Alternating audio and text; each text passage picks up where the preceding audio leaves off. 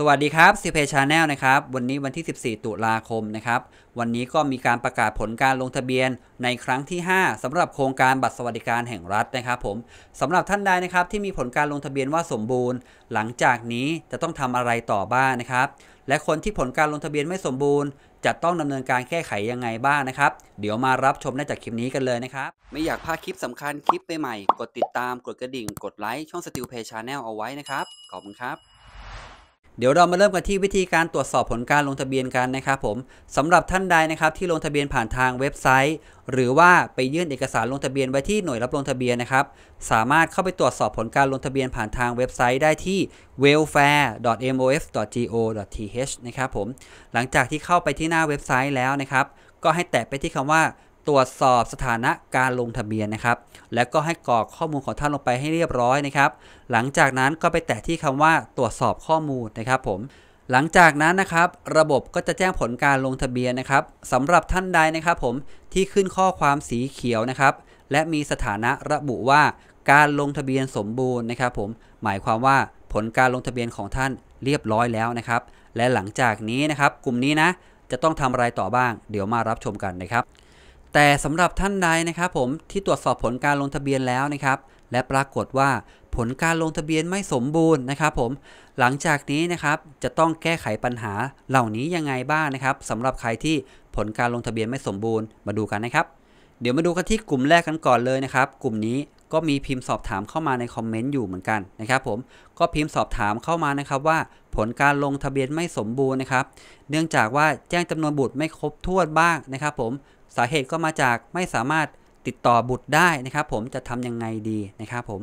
สำหรับกลุ่มนี้นะครับ ที่จะแนะนำก็คือให้ทำการติดต่อขอคัดสำเนานะครับ หรือว่าหนังสือรับรอง แบบรับรองทะเบียนคนเกิด หรือว่าสูติบัตรนะครับ โดยสามารถไปขอคัดสำเนาได้ที่ว่าการอำเภอ หรือว่าที่สำนักงานเขตทุกแห่งนะครับ ผม โดยให้ทางผู้ที่เป็นบิดามารดานะครับ ทำการแสดงบัตรประชาชนตัวจริง แก่นายทะเบียนนะครับผมแล้วก็แจ้งว่าขอคัดสำเนานั่นเองนะครับผมหลังจากที่เราได้คัดสำเนาออกมาเรียบร้อยแล้วนะครับ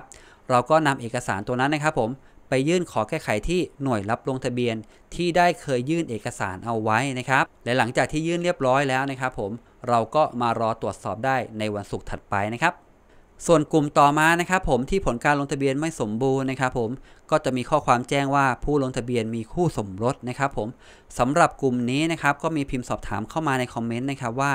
ในกรณีที่ไม่สามารถติดตามคู่สมรสได้นะครับผมหรือว่าเลิกลากันไปนานแล้วนะครับผมแต่ยังไม่ได้หย่านะครับผมกลุ่มนี้จะแก้ปัญหายังไงนะครับผมอะเดี๋ยวมาดูกันนะครับ สำหรับผู้ที่ไม่สามารถติดตามคู่สมรสได้นะครับผมก็จะถูกแบ่งออกเป็น 2 กลุ่มนะครับผมที่จะต้องกรอกเอกสารประกอบการพิจารณานั่นเองนะครับผมสำหรับกลุ่มแรกนะครับผมทางด้านซ้ายนะครับ จะเป็นกลุ่มเปราะบางนะครับ ที่มีอายุตั้งแต่ 60 ปีขึ้นไปนะครับ หรือว่าผู้สูงอายุนะครับ หรือว่าเป็นผู้พิการ หรือว่าเป็นผู้ป่วยติดเตียงนะครับ ที่ไม่สามารถติดตามคู่สมรสได้นะครับผม ให้ใช้แบบฟอร์มที่ 1 ทางด้านซ้ายนะครับผม โดยสามารถดาวน์โหลดออกมาจากทางเว็บไซต์ได้นะครับผม เมื่อดาวน์โหลดออกมาแล้วนะครับ ก็ให้ทำการกรอกข้อมูลของผู้ลงทะเบียนลงไปให้เรียบร้อยนะครับผม แล้วก็ให้ลงลายมือชื่อของผู้ลงทะเบียนให้เรียบร้อยนะครับ แล้วก็ในส่วนของพยานนะครับ ก็จะต้องเซ็นลงไปด้วยทั้งหมด 2 ท่านนะครับผมสำหรับกลุ่มเปราะบางนะครับที่กรอกเอกสารตัวนี้เรียบร้อยแล้วนะครับจำเป็นที่จะต้องนำเอกสารประกอบการพิจารณาตัวนี้นะครับ ไปให้กำนันหรือว่าผู้ใหญ่บ้านหรือว่านายอำเภอก็ได้นะครับเซ็นรับรองเอกสารให้นะครับผมซึ่งจะอยู่ในส่วนที่ 2 นั่นเองนะครับผมเดี๋ยวทางเจ้าหน้าที่เนี่ยเขาก็จะตรวจสอบข้อมูลของเรานะครับผมแล้วก็ทำการเซ็นรับรองให้นะครับผมหลังจากนั้นก็นำเอกสารตัวนี้นะครับผมไปยื่นที่หน่วยรับลงทะเบียนได้เลยนะครับผม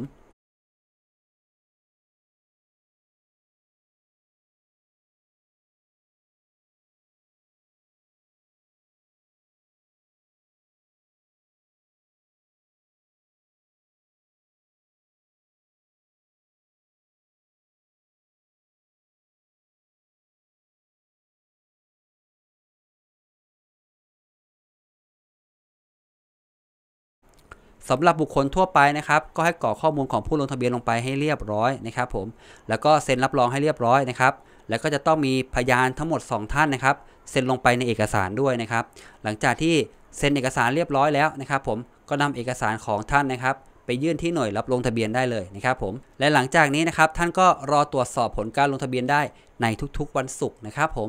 และ 9 สถานะนะครับที่พบบ่อยหลังจากที่ตรวจสอบผลการลงทะเบียนนะครับผมจะมีแนวทางการแก้ไขยังไงบ้างนะครับ ผมมาดูกันนะครับผมสำหรับท่านใดนะครับ ที่ขึ้นสถานะว่าผู้ลงทะเบียนเป็นพระพิสุสามเณรแม่ชี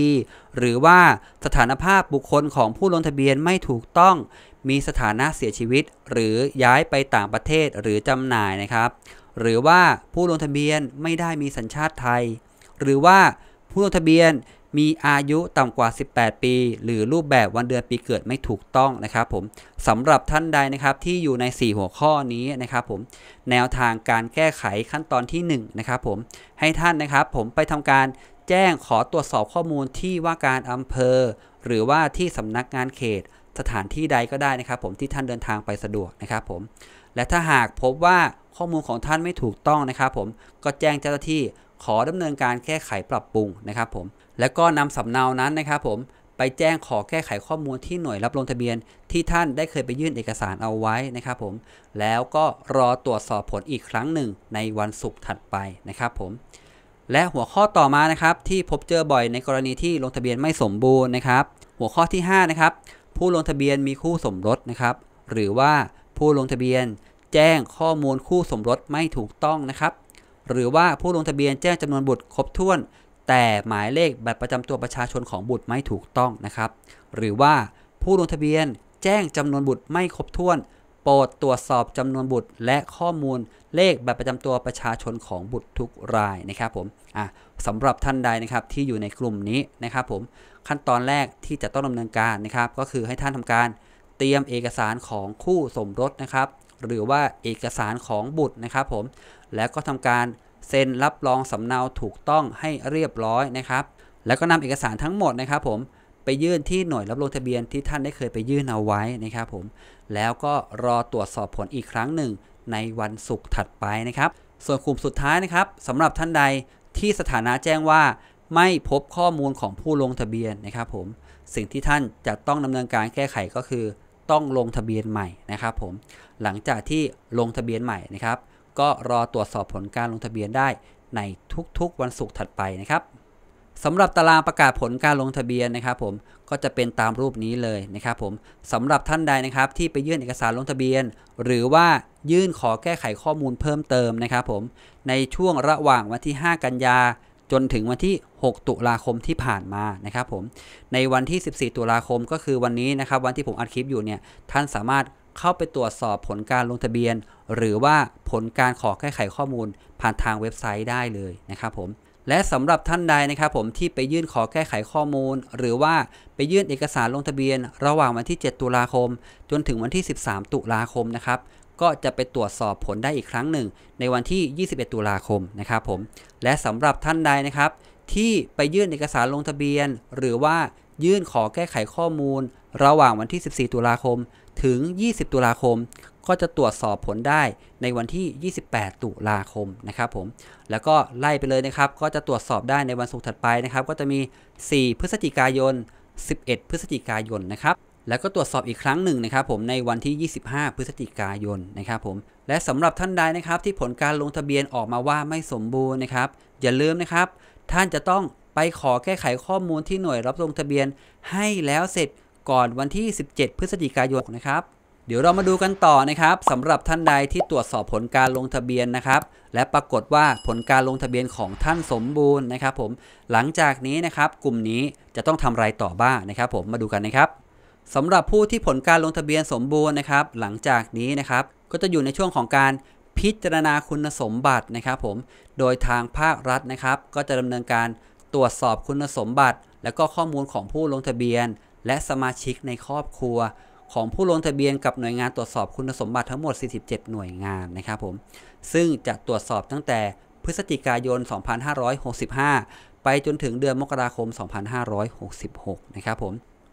สำหรับการตรวจสอบคุณสมบัติตรงนี้นะครับสำหรับผู้ที่ลงทะเบียนที่มีสถานะโสดนะครับ ก็จะตรวจสอบข้อมูลเฉพาะผู้ที่ลงทะเบียนเท่านั้นนะครับผมแต่สำหรับท่านใดนะครับที่ลงทะเบียนแบบมีครอบครัวนะครับผมก็จะมีการ ตรวจสอบข้อมูลของผู้ลงทะเบียนนะครับ แล้วก็ข้อมูลของสามีหรือว่าภรรยา หรือว่าบุตรนะครับผมก็จะมีการตรวจสอบด้วยนะครับผมและในเดือนมกราคม 2566 นะครับก็จะมีการประกาศผลการตรวจสอบคุณสมบัติผ่านทางเว็บไซต์ welfare.mos.go.th นะครับผมสำหรับท่านใดที่ผ่านคุณสมบัตินะครับผมก็จะมีข้อความสีเขียวแบบนี้นะครับผม แต่สำหรับท่านใดนะครับที่ไม่ผ่านคุณสมบัตินะครับผู้ลงทะเบียนนะครับสามารถยื่นเรื่องขออุทธรณ์ผ่านทางเว็บไซต์ welfare.mos.go.th ได้เลยนะครับผมหรือว่าจะไปยื่นอุทธรณ์ยังจุดที่กระทรวงการคลังกำหนดก็ได้เช่นกันนะครับและตั้งแต่เดือนมกราคม 2566 นะครับสำหรับท่านใดที่ผลการตรวจสอบคุณสมบัติออกมาว่าผ่านนะครับผมท่านสามารถไปยืนยันตัวตนได้ทันทีหลังจากที่ทราบผลนะครับ โดยสามารถ ไปยืนยันตัวตนได้ที่ธนาคารกรุงไทย ธนาคารทกส หรือว่าที่ธนาคารออมสินก็ได้เช่นกันนะครับสำหรับการใช้สิทธิ์ในโครงการบัตรสวัสดิการแห่งรัฐในครั้งนี้นะครับผมจะเป็นการใช้สิทธิ์ผ่านทางบัตรประชาชนนะครับผมสำหรับบัตรประชาชนของท่านใดนะครับผมที่ไม่ใช่บัตรประชาชนแบบสมาร์ทการ์ดนะครับก็จำเป็นที่จะต้องไปดำเนินการทำให้เป็นแบบสมาร์ทการ์ดนะครับผมคำว่าบัตรประชาชนแบบสมาร์ทการ์ดนะครับนั่นก็คือจะมีแถบทองเหลืองอยู่ทาง ด้านหน้าบัตรประชาชนนั่นเองนะครับผมส่วนกำหนดวันที่จะเริ่มใช้สิทธิ์นะครับ ก็ต้องรอทางกระทรวงการคลังประกาศออกมาอีกครั้งหนึ่งนะครับผมและสำหรับท่านใดนะครับที่ยังไม่ได้ลงทะเบียนเข้าร่วมโครงการบัตรสวัสดิการแห่งรัฐประจำปี 2565 นะครับ และมีความสนใจจะลงทะเบียนนะครับผมก็สามารถลงทะเบียนได้เลยนะครับ ซึ่งทางภาครัฐก็ได้มีการขยายระยะเวลาการเปิดรับลงทะเบียนเพิ่มเติมนะครับ ให้สิ้นสุดในวันที่ 31 ตุลาคม 2565 นะครับ โดยสามารถลงทะเบียนได้ผ่านทางเว็บไซต์นะครับ หรือว่าจะไปยื่นเอกสารการลงทะเบียนที่หน่วยรับลงทะเบียนก็ได้เช่นกันนะครับผม สุดท้ายนี้ก็หวังว่าคลิปนี้จะเป็นประโยชน์นะครับ และก็อย่าลืมนะครับ ฝากกดติดตาม กดไลค์ กดแชร์ กดกระดิ่งนะครับ จะได้ไม่พลาดคลิปดีๆ คลิปใหม่ๆจากช่องซิลเพย์ Channel นะครับผม ส่วนท่านใดนะครับที่มีข้อสงสัยตรงไหนนะครับ สามารถพิมพ์สอบถามไว้ในคอมเมนต์ได้เลยนะครับ ขอบคุณครับ ไว้เจอกันคลิปหน้าครับ